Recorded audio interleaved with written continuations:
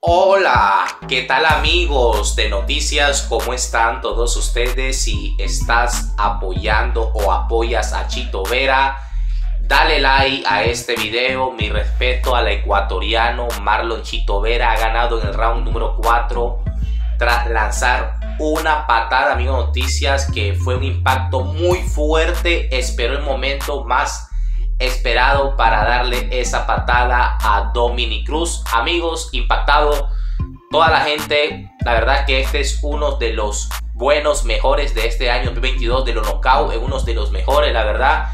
Me ha dejado con la boca abierta la tremenda patada. Gana, amigo noticias, Chito Vera en el round número 4. ¿Qué puedo decir? Una pelea muy buena, iba todo. Aunque iba ganando por un puntaje más Chito Vera, pero Dominic Cruz estaba haciendo bien su trabajo, estaba conectando, estaba buscando la defensa, amigos, pero miramos que se dejó llevar mucho por Chito Vera. Sabemos que Chito Vera lo pueden ver así, amigos, pero cuando conecta, conecta de verdad y es un hombre muy peligroso.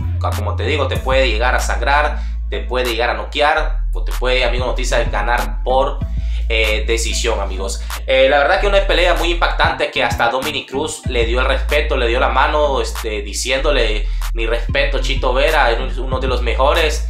Y aquí, amigos, noticia, ha demostrado que Marlon Chito Vera es uno de los campeones de todo el mundo. Y él es el que representa a Latinoamérica y más a Ecuador.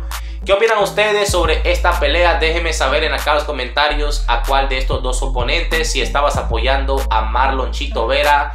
Dale like a este video, den sus comentarios qué tal vieron esta pelea. Para mí, amigo noticia, fue el mejor knockout que he visto en esta UFC ahorita, en este día de hoy. Porque sabemos que la pelea costelar estuvo también magnífica, que los peleadores estuvieron hasta el último, hasta el último round. Bueno, Amigos, esta es la información que yo les tengo.